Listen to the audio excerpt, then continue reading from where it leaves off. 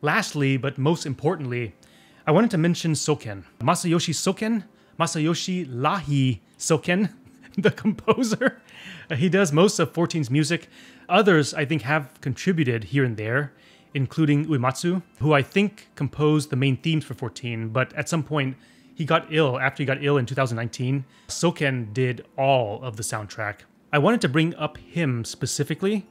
It was because, for those of you who watched the, the recent FanFest, at the tail end of it, Soken revealed that he had secretly been working on the music for Shadowbringers 5.3 while he was hospitalized with cancer since uh, March of last year for about six to seven months. He composed To the Edge, as you guys mentioned, and the, the rest of the music for 5.3 as well. From a freaking hospital bed, battling cancer while not even telling the rest of the development team. Unbeknownst to them, Square and Yoshida had arranged for him to keep working in the hospital with support from his core audio team. And it was super mentally and emotionally rough on him. But that's pretty insane that the reason he wanted Yoshida to keep the cancer a secret was because he didn't want his other teammates to worry about him. Because he thought that if he told the development team, it would most likely, most importantly, affect their performance. And he didn't want that because of how it would potentially negatively affect the game as a whole as well. And this was the second time, at least for me, that I saw Yoshida tear up on stage again over finally having his team back, his team member back, finally having his best co-workers and his best friend, I think, back on the Final Fantasy XIV team. Personally, I think that he must have feared that maybe Soken might not have survived. From what I understand, the cancer is in full remission, and that's why Soken was able to attend the live presentation of the 14 Live Fest, the Fan Fest, and play the Lahi. He said something like really, really touching during that. He said that the fan response to Shadowbringers 5.3 was what kept him going.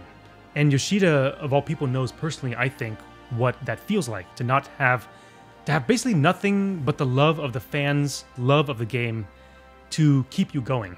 That's why I'm right now, I'm 95% convinced that Soken is going to be working on 16 soundtrack as well. The other 5% of me thinks that he'll be busy working on, still working on 14, and it'll be probably another composer like Sekito or the Mizuta. They were the ones that also contributed to A Realm Reborn's OST. But after the reveal from Soken, I feel it's essential that 16 be composed by him to some capacity. In fact, I'd be shocked at this point if Soken weren't the composer for 16 in some way. And not just because it was his composition that you heard towards the end of the Awakening trailer, and the likelihood that he was one of 16's core team members before Creative Business Unit 3 was even a thing. You know, I always got the sense that Yoshida was the one with the real deep spiritual crying on his knees conviction of making 14 as great as possible. But I think up until now, I didn't really get a sense of who he was either. I'm now convinced, beyond a doubt, that he shares the same sacred duty and responsibility to the fans that Yoshida does. That speech that he gave was super important for the fact that even if other members of his team, Ishikawa, like you can tell from like the expression on her face that she had no idea that this cancer was even a thing. She was very moved by it because she she was genuinely remorseful for having like pushed him for creating so many songs and making so many minor adjustments, never realizing that he was doing it from a hospital bed during cancer treatment. And his response to her was really telling. He said that he didn't want them didn't want her to treat him any differently, that he wanted them to give him as much work as they normally would have had he just been normally working as a regular member of the team. That kind of treating me no differently than the rest of the team because we all have a common purpose was what got him through that treatment. I've worked on film sets before and I've seen ones that worked and ones that worked very well and ones that were the complete opposite. And a creative team that makes, you know, movies or TV shows or games or whatever, the process of creating it is very fragmented. You got hundreds of people working on individual parts, and when the pressure gets hot, there's millions of dollars at stake, and it's all this kind of one big locomotive that once it starts, it really does not stop easily. You want a game development team where its members are so much on the same wavelength with each other, as far as what their purpose is for even creating the game to begin with, and having Soken share that story in a sense was the reminder of that united team bond that unifies them that bond of sacredness in their mission to get the fans as excited as possible for 14 certainly but 16 and overall just final fantasy in general. And it sounds like yeah it sounds like such a simple basic thing. Like of course don't we all as the same members of the team have to work together to achieve that common goal to create that great common game. But trust me, it's very easy to lose that sense of purpose when the shit hits the fan. Yoshida said during that speech that Sokena told him if he doesn't have something to work on, namely if he doesn't have the Final Fantasy to work on that means something to him, he has nothing to live for. And it really sucked that no one could visit Soken because of COVID. But collectively, they knew that players were waiting for 5.3, players were waiting for Endwalker, and players are waiting for 16. And to him, that was the best medicine to cure that cancer is the cheers from his fans. Soken was one of the original people who really believed in Yoshida. 10 something years ago, Yoshida gave a speech before 300 something developers on the original Final Fantasy 1.0 team, and they were all, well, what the hell's going on with this new director? They all went to bail, and Yoshida said that it was Soken who walked up to the front of the stage, pumped up his fist, and said, Yeah, let's do this shit. Yoshida had actually lost another coworker and friend to cancer, and he wrote about it in this post blog. Soken going through cancer treatment and having to conceal this from the rest of the development team, I'm sure it must have been a really hard decision for him. That's why when people ask me why I think Final Fantasy XVI will be, if nothing else, a very special game, is because of the people behind him. There's something really special about Yoshida's character and the character of those he chooses to become a part of his core team that has this really like unifying emotional effect on the rest of the team, which in turn transfers over to the players and the fans of the game. These guys are clearly busting their asses, going above and beyond to bring us the best game that they possibly can, because of how much the game means to them, and how much the fans' enjoyment of the game means to them. And in the case of Soken, our enjoyment of his games is his medicine. It literally saved his life. And frankly, that was also the reason why I wanted to make all those Final Fantasy 16 videos, because it seems to me like the developers care as much about the game as much as we do. And it's not like, oh, I care about the game because I care about my job, because it wasn't his job to compose music from a hospital bed with cancer. But he did it anyways. That's really all fans of a game or a series really even want just to know that the developers care as much, if not more, about the game than we do. And regaining enough faith in the Final Fantasy fans to prove that, you know, Final Fantasy games can be great again, and in a way that you probably can't imagine just yet.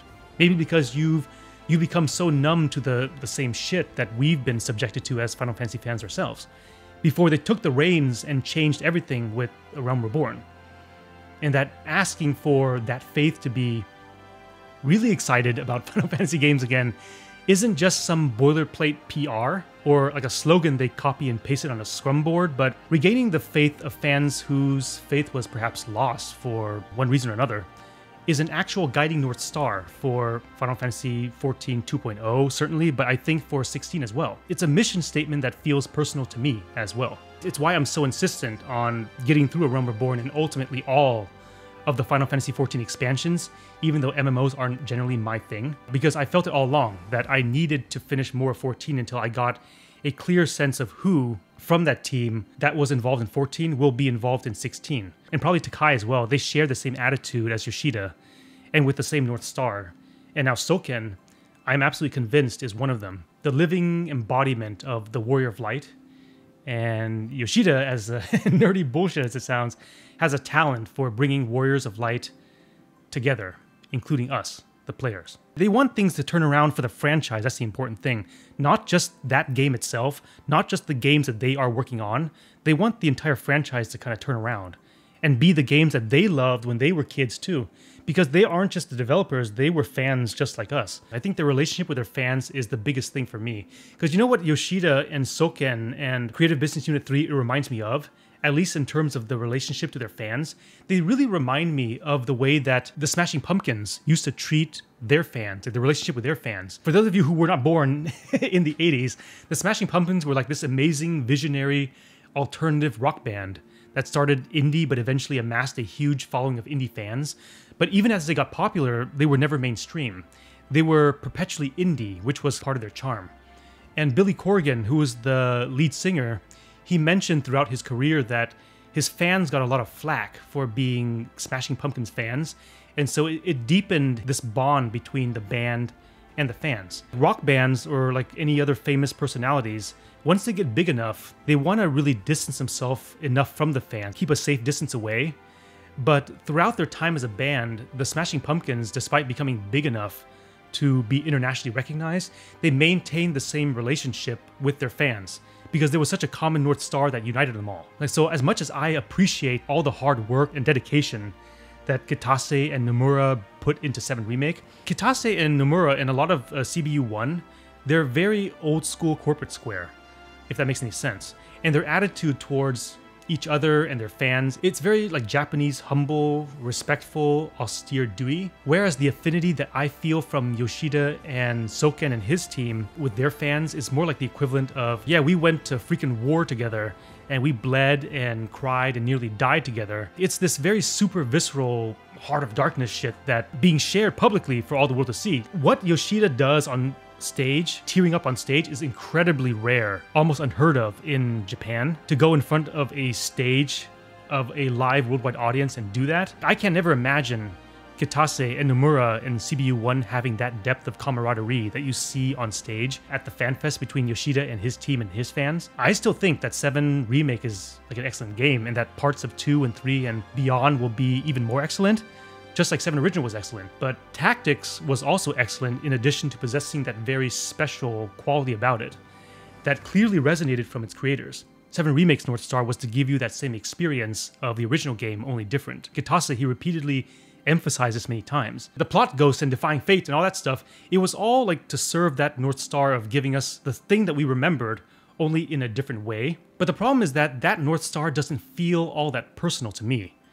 It feels more like a mission statement born out of market research.